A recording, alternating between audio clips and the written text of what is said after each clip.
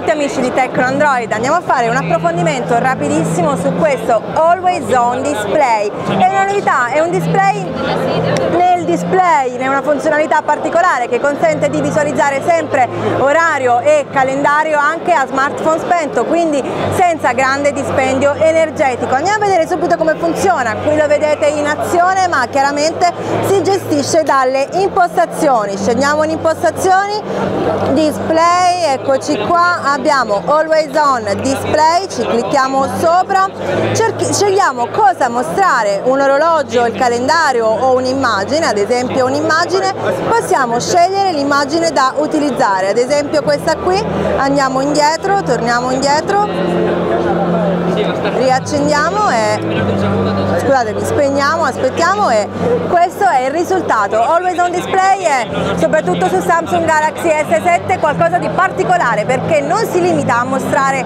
l'orario piuttosto che uh, unicamente il calendario, ci sono anche i colori. Anche questa mattina, anzi questo pomeriggio, LG ha introdotto Always on Display sul suo G5. Sarà la novità dell'anno?